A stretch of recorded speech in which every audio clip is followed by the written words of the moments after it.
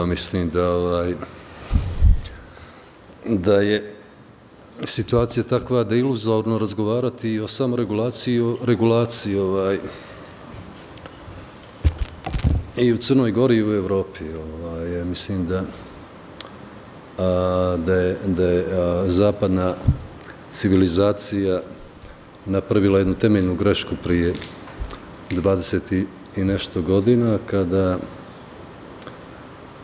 kada su odvojili online svijet od offline svijeta i kada su privilegovali online svijet tako da pravila koja važe za offline svijet nisu važila za online svijet. I to je jedna vrlo opasna zabluda Zapada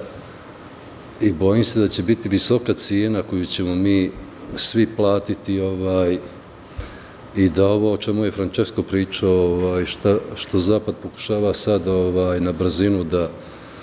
da uradi, mislim da je prilično zakašnjelo i da, da mi kasnimo ovaj, svi da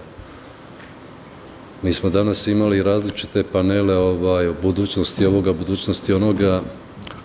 a mislim da mi u stvari pričamo o prošlosti novinarstva i medija i prošlosti regulacije, jer je, jer je svijet otišao puno brže i puno daleko, a mi smo ostali u prošlosti. Ovaj. Mi se bavimo nekim prošlim stvarima, ne svetajući u kom svijetu živimo i šta se dešava oko nas.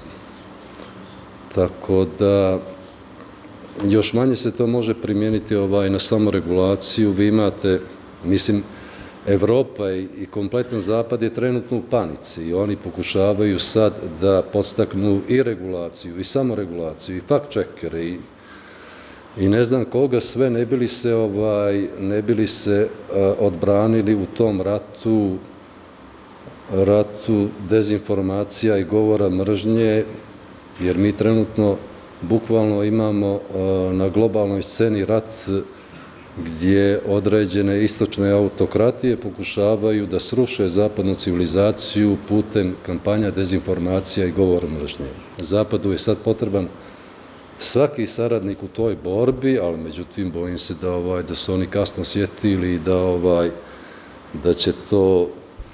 da ta borba neće biti efikasna i da smo mi već gubitnici u tom ratu. Evo samo da vam da ne pominjemo Crnu Goru, da ovaj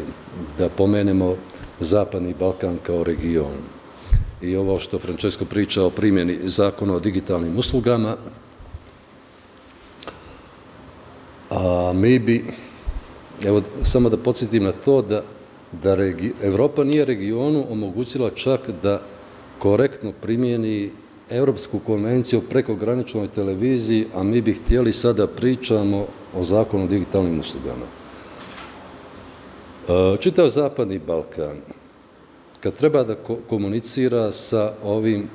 velikim tehnološkim platformama, kad se vi njima obratite, vi razgovarate s mašinom, Oni vas nisu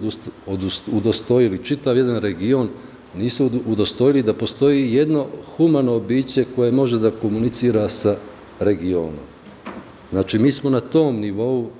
da oni preko mašine s nama komuniciraju i kako mislite da Zapadni Balkan, koji nije u Evropskoj uniji,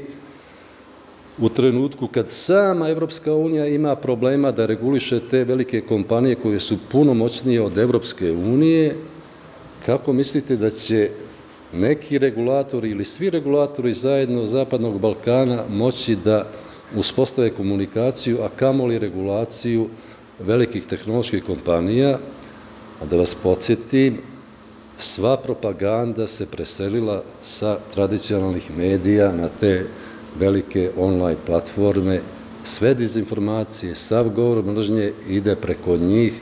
tradicionalni mediji tu nisu bitni, taj veliki rad se vodi preko tih velikih platformi. Ja bih volio da mi neko to objasni kako to može da se ovaj uradi, ali nisam nešto optimističan. Eto. Evo, da, da ne budem do kraja, mislim, nisam ni pesimističan ni optimističan, pokušavam da budem realan. A, da li postoji šansa da, recimo, a, regulatori regiona mogu zajednički da se obrate Google-u, Meti, TikToku, Twitteru,